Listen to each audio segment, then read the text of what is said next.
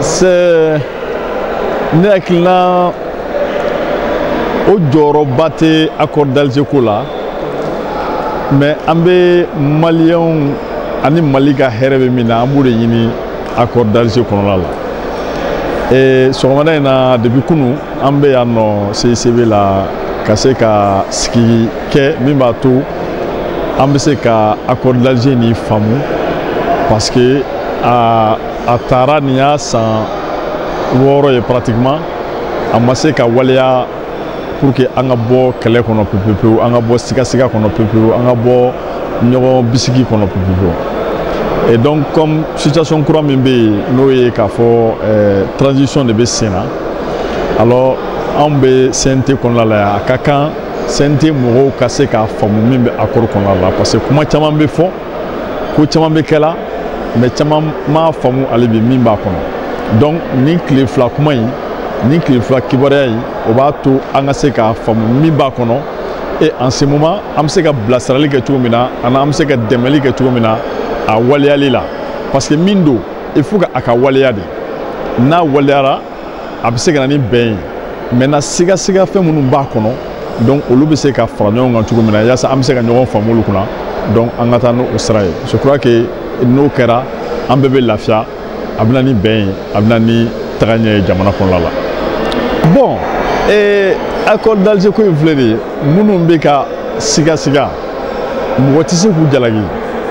minnu fana dalen b'a la mɔgɔ fana tɛ se k'u jalaki k'a fɔ k'a tɛ mali tila minnu ye accord d'alger kɛ a bɛɛ maliyɛnw de ye dunanw tɛ o fan minnu ye marifa ta o minnu ma minnu bɛ gouvernement yɛrɛ ye ou bien minnu ye état ye a bɛɛ baliyɛn de ye f'an k'o o faamu fɔlɔ n'an y'o faamu parce que an b'a la ko jamana tɛ tila mun na parce que kidali y'an dɔ de ye o an b'a fɔ a tɛ tila mun na parce que gawo y'an dɔ de ye an b'a fɔ a tɛ tila mun na parce que mɛlaka y'an dɔ de ye donc n'o ye tiɲɛ ye donc an ka dɔn k'a fɔ mɔgɔ minnu sigilen bɛ yɔrɔ la olu fana ye maliyɛnw de ye donc u bɛɛ tɛ jamana tilali fɛ dɔw bɛ dugubala la yan nɔ dɔw bɛ mali yɛrɛ sudi la yan jamana in ka ci a ka d'olu ye donc an k'a bila an kun na k'a fɔ dɔw fana bɛ nɔri la a ka ɲɛ o de ka d'olu fana ye donc an ka sigasiga ye an ka dɔ b'o la maintenant fɛn minnu b'a kɔnɔ la la komi n y'a fɛ cogo min na n'o u bɛ se k'a fɔ ko o bɛna ni mali tilali ye ɔ ni bolo dar'o kan sigikafɔ de b'o na n'o o ɲɛfɔli ye o donc sigikafɔ de kɔnɔ damu b'a la sigikafɔ de kɔnɔ an bɛ se k'o o gɛlɛyaw dɔn k'o gɛlɛyaw olu ta ka wuli cogo min na à partir du moment où mɔgɔ mɔgɔ n'u y'u bolo nɔ bila sɛbɛn in na u bɛɛ bɛ yan nɔ n'u bɛ yan ka ban sɛbɛn yɛrɛ fana kɔnɔna la a yiralen b'a kɔnɔ k'a fɔ sɛbɛn in yɛrɛ y'a yira a yɛrɛ kɔnɔna la k'a fɔ ale bɛ se ka a bɛ se ka performer c'est à dire a bɛ se ka labɛn hali bi donc accord d'Alger nin de 2015 à maintenant a labɛnni bɛ senna ka taa fɛ de don o don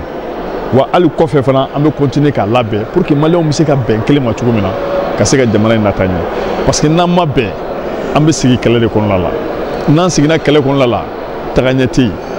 et donc o bɛ na ni ko wɛrɛ ye o man di mɔgɔ si ye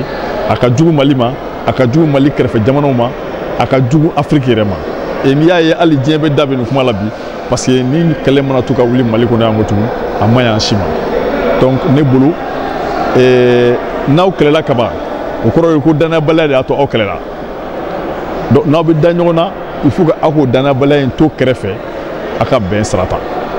o de bɛ laɲini anw bɛ yan jamanajɔ de kama donc an b'o de laɲini kɛ bɛɛ fɛ donc an tɛ se k'an daji tu akɔrɔdaje kan parce que maliyɛnw de y'a dilan et minnu y'a dilan ne tɛ mali fɛ ka tɛmɛ olu kan minnu ma minnu tun tɛ yen n'olu b'a la k'u t'a la u fana tɛ mali fɛ ka tɛmɛ o mɔgɔ ninnu kan parce que nous on a eu la chance k'u bɛɛ lamɛn donc aujourd'hui an bɛ se k'a fɔ gɛlɛya minnu b'a kɔnɔ sigasɛgɛ minnu b'a kɔnɔ an b'olu de identifier n'o ye armée territoriale par exemple i da don a kuma la sa armée fila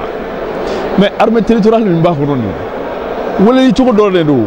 mais a sɛbɛnnen b'a kɔnɔ k'a fɔ ko a kan ka créer condition min na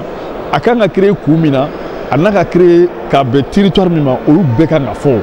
est ce que a bɛ a ka fanga bɛ da commune de ma wa est ce que a ka fanga bɛ da cercle de ma wa est ce que a bɛ taa yɔrɔ jumɛn na région de don wa donc olu ma défini o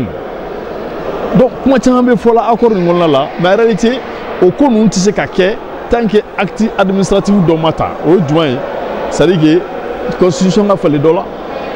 acte réglementaire dɔ ka ta dɔ la ou bien acte législatif dɔ ka ta dɔ la donc euh, accord in yɛrɛ a kelenkelenna ten cogo la a se ka kɛ foyi ye mais anw maliyɛnw de b'a kɛ fɛn ye fɛn min b'an bɛɛ dafa il faut que mɔgɔw k'o faamu n'u y'o faamu o b'a to an bɛ bɔ sikasɛya in kɔnɔ an bɛ taa parce que a foyi tɛ kɛ ni sigikafɔ ma kɛ min kɔnɔ et moi je crois que c'est extrêmement important que les gens comprennent ça ni mɔgɔw y'o faamu parce que caman b'a la an t'a la an t'a la an t'a la mais en réalité olu t'a kɔnɔko dɔn aw yɛrɛ y'a ye kunu ni bi cɛ dɔw ko ko olu ma deli ka kalan e, e ma deli ka fɛn min kalan e bɛ se ka o kɔnɔko ɲɛfɔ jɔn ye e ko k'i t'a la dɔrɔn i t'a la donc an ka hakili t'o la an ka hakili to fana accord ninnu kumaw bɛ fɔ cogo min na 2012 ni bi cɛ u ka jan ɲɔgɔn na mais 2012 wagati la an tun bɛ condition min na mɔgɔw kɛra ɲinɛ o fana kɔnɔ ça c'est extrêmement important an bɛɛ maliyɛn de ye il y a pas de prix pour la paix